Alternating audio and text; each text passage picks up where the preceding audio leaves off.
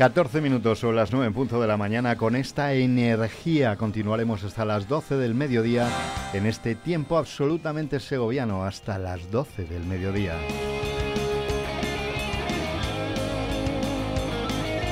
Gracias por estar ahí, gracias por seguirnos a través del 90.4 de la frecuencia modulada si están en la provincia de Segovia y ya saben que si están en cualquier lugar del planeta pueden seguirnos a través de nuestra página web www.viveradio.es barra Vive Segovia.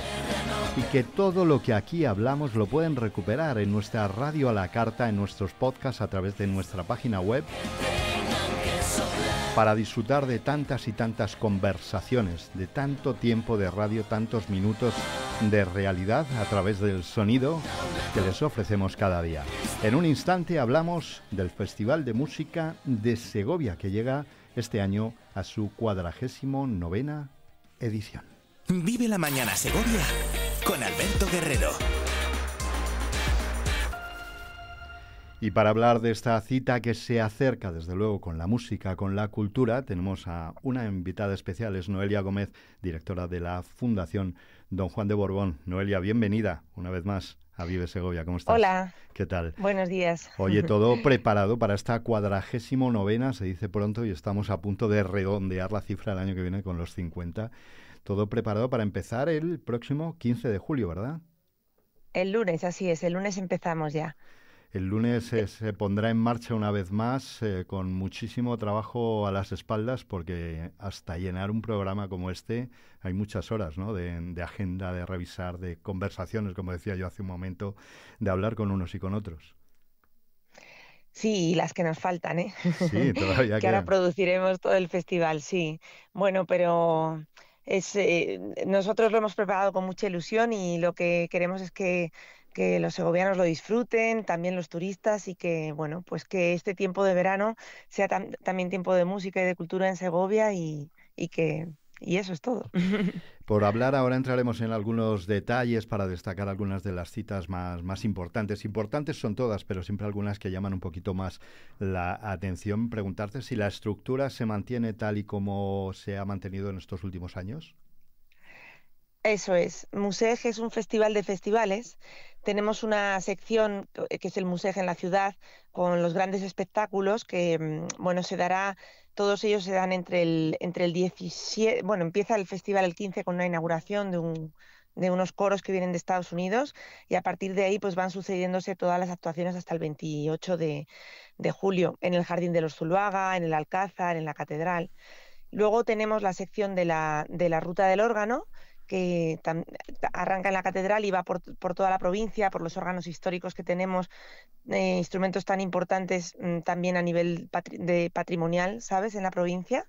Y tenemos luego el Museo Natural, que esto ya lo dejamos para el mes de agosto, que es la extensión que hacemos en la provincia, en espacios naturales y este año también en los castillos de, de Cuellar y de Turégano. Y por último, también la otra sección del festival es el Festival Joven, que se va a organizar la mayor parte de ello en el Palacio de Quintanar, en el, patio del Palacio de Quintanar, donde vamos a presentar a jóvenes talentos de la música de distintas disciplinas. Va a haber una soprano, hay pianistas, hay un saxofonista, violinistas, Em, un poco para todos los gustos y bueno, esos son los conciertos de los jóvenes gratuitos por las tardes en el Palacio de Quintanar. Tengo que recordar a quienes nos escuchan que está toda la programación, aunque ahora repasaremos algunas cositas, como decía así, destacadas, pero está toda la programación en la página web de la Fundación, de la Fundación Don Juan de Borbón. Podemos ver todas las fechas, los horarios, eh, para ir seleccionando y estableciendo casi nuestra ruta alrededor de este Festival de Música de Segovia. Cuando hablas del Museo Natural, y ahora hablaremos de ello también con detalle, pienso en los escenarios que habréis elegido. Pero si antes hablamos de los escenarios elegidos en, en la ciudad, la verdad que siempre son inigualables. No sé si este año eh, se aporta alguno más o añadís alguno más, alguna novedad a esos escenarios habitualmente seleccionados. Pues vamos a añadir una novedad que además eh, nos ha parecido importante también eh, pues empezar a integrarlo, que es el auditorio del CIDE. Em, es un concierto además que en principio lo íbamos a hacer en San Juan de Caballeros, de hecho en los folletos aparece así, pero el concierto que va a hacer eh, la compañía de títeres Perpoc, El gato con botas, van a representar El gato con botas, este cuento tan famoso con, con el grupo de música antigua Forma Antigua, dirigidos por Pablo Zapico. Entonces, bueno, tenemos un elenco excepcional para hacer ese concierto familiar y el auditorio del CIDE va a ser ese lugar nuevo donde además tiene una acústica muy buena y va a ser un buen lugar, un, vamos, un, un espectáculo perfecto para estrenarnos también la fundación en el auditorio del CIDE. Bueno, incorporación de, de esos eh, de a esos escenarios habituales de este de este nuevo escenario, como tú decías, eh, que os ha parecido conveniente este año incorporar. El 15 de julio nos has comentado así de pasada, es la inauguración, ¿a qué hora? Y nos vamos a, es un encuentro coral, ¿no? Decías internacional. Así es, el 15 de julio vamos a arrancar en el seminario, en la iglesia del seminario, a las ocho y media de la tarde. Es un concierto gratuito. Y lo que sucede es que hemos albergado en Segovia el concierto final de varios coros de niños y jóvenes, similares a, lo que tenemos aquí con la Escolanía de Segovia, el mismo tipo de trabajo hacen con los niños. Son coros de Florida y de Washington. Vienen como unos 70 cantantes, más o menos. Y, bueno, pues van a hacer un concierto a tres coros ya te decía que es un concierto gratuito y con ello vamos a arrancar recibiendo a estos jóvenes que también eh, la juventud es una parte importante del festival, después con el Festival Joven también. Me siento un poco privilegiado, privilegiado Noelia, te lo, te lo digo en confianza, porque viendo el programa eh, yo casi lo conocía ya y nuestros oyentes es posible que, les suene mucho de ello porque hicimos un programa especial el mes pasado en nuestro espacio Vive la Clásica con algunos de los nombres destacados que van a estar aquí este año con nosotros. Y entonces es como si ya les conociera, ¿no? pero, pero me gustaría que, nos, que nos recordaras algunos de esos nombres que son muy, muy destacados desde luego y que van a estar aquí con nosotros nosotros en este museo, en esta 49 edición? Pues mira, voy a ir un poquito en orden cronológico para que se sitúen nuestros oyentes. El primer nombre destacado, bueno, los nombres destacados arrancan en el, patio de armas del Alcázar de Segovia, que la verdad, para quien no haya ido a ver un concierto al Alcázar, lo, casi también por la experiencia a nivel de disfrute del patrimonio y, junto con la música merece la pena muchísimo. Es bellísimo caminar hacia el Alcázar cuando está atardeciendo, se está poniendo el sol y después empieza el concierto. Y el primero lo tenemos el próximo miércoles, el 17 de julio, nos visita Joaquín Riquelme con Enrique Valgaría. Joaquín Riquelme es un viola muy, muy destacado porque él es eh, mm, pues músico titular de la Orquesta Filarmónica de Berlín, que es bueno, pues la digamos, de la, gran liga de, los músicos a nivel mundial, ¿no? Y después de él, al día siguiente, también nos visita Alberto Gismonti, que es otro gran músico, lo pueden también los oyentes buscar por ahí. Eh, Gismonti es un jazzista brasileño, quizás es el músico brasileño pues más, por lo menos es el más, es el histórico ahora mismo, es un músico ya mayor, ya pasa de los 70 años y es todo un clásico del jazz a nivel mundial. Ese, al día siguiente nos visita Rocío Molina. Rocío Molina es una gran bailadora flamenca y viene a, traer aquí Caída del Cielo, que es un espectáculo muy rompedor, donde un ángel, pues, eh, eh, un ángel que comienza con su bata blanca de cola, de, flamenca, pues em, empieza a recibir todas las sensaciones y todas las experiencias que se pueden vivir en la tierra, pasan por ella todos los pecados capitales y ya no cuento más porque esto hay que ir a verlo, que, que, le produce a la bailadora este llegar a la tierra, este caer desde el cielo en la tierra. Y luego el fin de semana tenemos un fin de semana muy sinfónico. Primero nos visita la Oscil para hacer un homenaje a María de Pablos y después nos va a visitar la Joven Orquesta Nacional de España. Además vienen con el violinista Francisco Fullana, que es un, virtuoso del violín, un solista maravilloso, y con Pablo González, que es uno de los directores más destacados del país, ha sido director de la Orquesta Nacional de España y, en fin, de otras orquestas muy importantes, ¿no? Y luego a la semana siguiente, como me has hablado de nombres destacados, pues tengo que decirte que el festival cerrará al fin de semana siguiente con Tomatito. No te cuento todo lo del medio, que hay también varios conciertos en la catedral, en el Alcázar. Lo pueden los, los, oyentes revisar en la web. Como decía, son los folletos que están en el centro de recepción de visitantes, en la Casa de la Lectura y en muchos sitios por la ciudad hay folletos. Y el festival en la ciudad, como te decía, pues lo vamos a cerrar con Tomatito en el Jardín de los Zuluagas. Con Tomatito, esas entradas ya eh, quiero preguntarte, eh, llevan a la venta ya unos días, pero entiendo que todavía quedarán. ¿Hay algunas que estén agotadas ya? Casi casi están agotadas las del concierto de clausura de Museja Natural, que terminaremos, vamos a coronar el festival en el Castillo de Turégano con Paquito de Rivera y quedan muy pocas entradas ya para Paquito de Rivera. Para lo demás todavía queda, pero sí tengo que decirte que tenemos como el 70% vendido más o menos, o sea que estamos muy satisfechos, pero sí que queremos llegar a bueno, a intentar mm, pues vender todo lo que se pueda y las entradas están disponibles en el centro de recepción de visitantes, en la página web, en el teléfono que es el 921 46 6721. Así que bueno, pues bueno, a ver si pues colgamos el, cartel de, no, no hay entradas, no hay que descuidarse, desde luego. Decías tú que eh, buscaran los, los oyentes por ahí algunos de los nombres que, que tú has eh, citado en este mes de julio que nos van a acompañar aquí. Yo les diría que buscaran nuestro podcast, ese que hicimos tú y yo eh, hace un mes, el mes de junio, porque ahí hay un recuerdo de algunos de estos nombres, de su música, de su historia profesional, de su trayectoria profesional, y yo creo que va a abrir el apetito para desde luego ir a verlos. Decir, hablábamos de las entradas, Noelia, que hay eh, espectáculos de entrada libre también, algunos de, de entrada que hay que comprar, pero vais combinando, ¿no? Ambas. Vamos combinando y generalmente los conciertos de los jóvenes del Festival Joven son por la tarde, son a las 8 de la tarde. Te decía que en el Palacio de Quintanar, a excepción del concierto de los niños ganadores del Premio Santa Cecilia, que es el concierto que será gratuito en el Alcázar de Segovia el martes 16.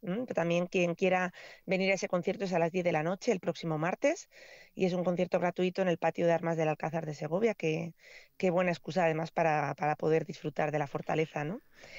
Y, sí, se van combinando y, por ejemplo, eh, Museja Natural, que arranca el día 1 de agosto, lo haremos en la pradera de San Marcos, al pie del Alcázar, como venimos haciendo ya casi de manera tradicional desde el 2018.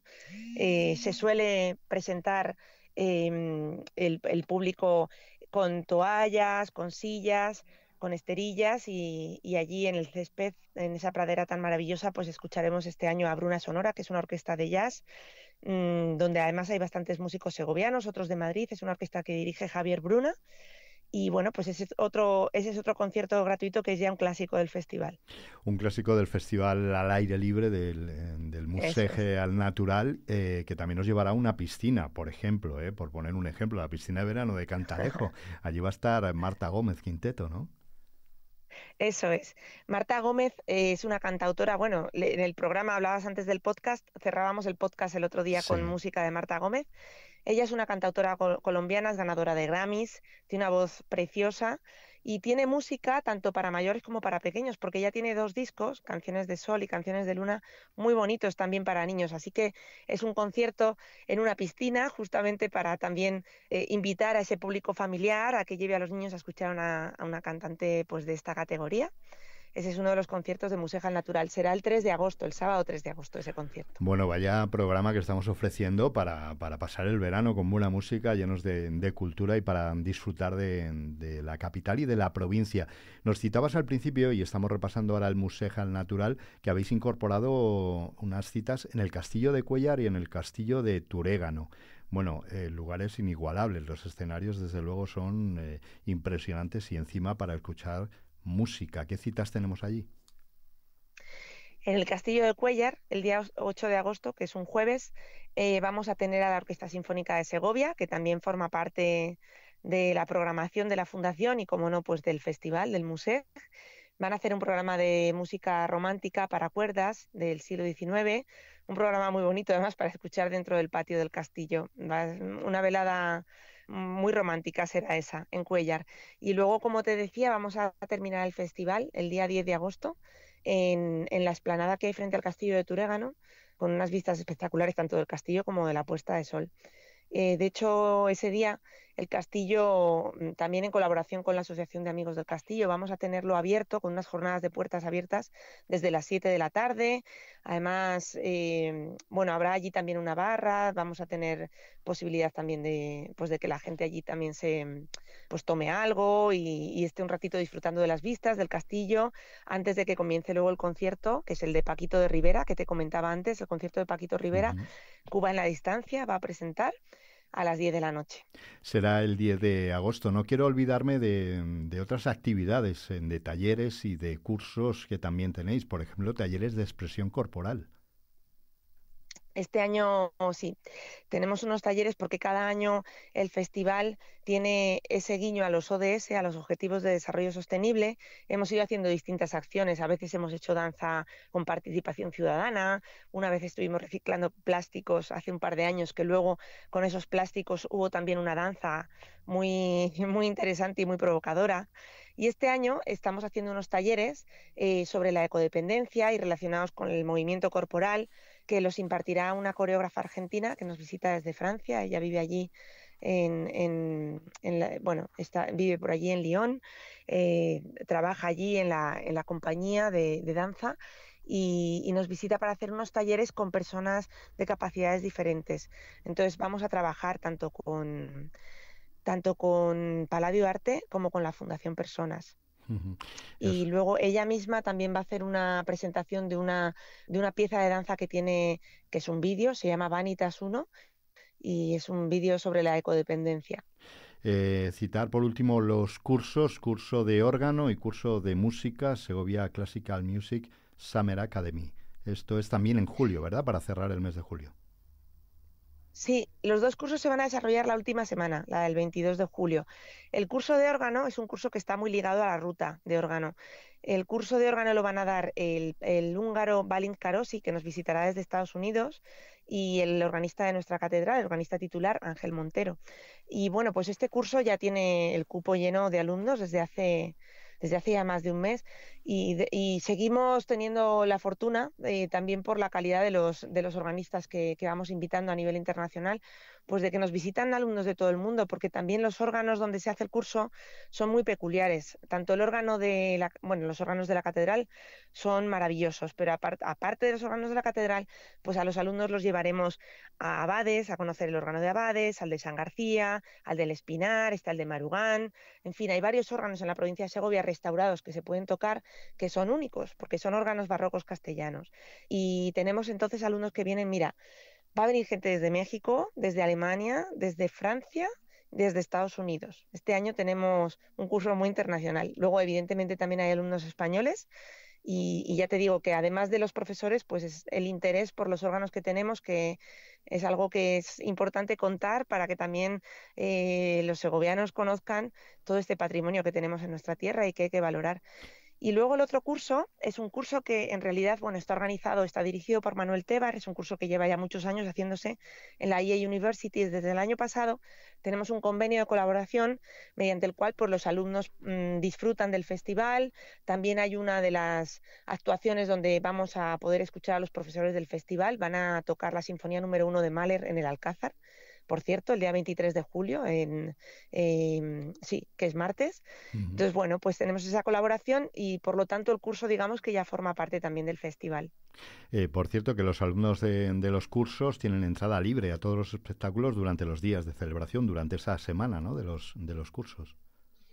Sí, claro, bueno, es que también nos parece importante promover de esta manera la música y el estudio de la música. Son dos semanas en las que Segovia se llena de músicos, ¿eh? O sea, en el curso que se hace, el, Segovia Classic, Music Academy, el que se hace en la IE, es un curso que atrae más de 100 estudiantes, de entre, pues les hay desde, desde 8 y 9 añitos hasta más de 20, ¿no?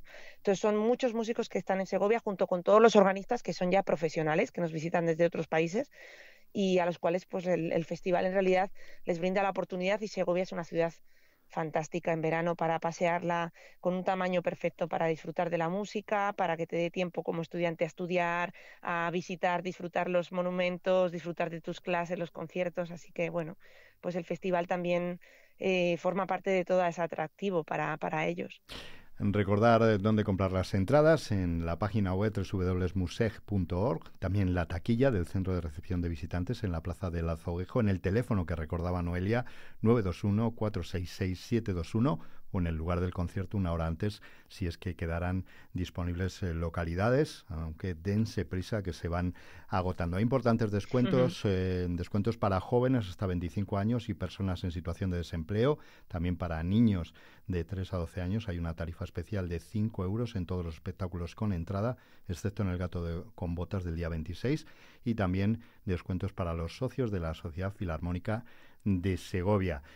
Noelia Gómez, muchísimas gracias por este repaso intensivo y rápido a lo que va a ser eh, la programación del MUSEC 2024, incluyendo esa extensión del MUSEC al natural, julio y agosto, llenando de música la ciudad y la provincia. Un placer, nos encontramos, si te parece, a la vuelta después de toda esta agenda amplia para retomar nuestro espacio, nuestro acercamiento, ese que tú nos traes cada mes aquí a la música clásica. Muchísimas gracias.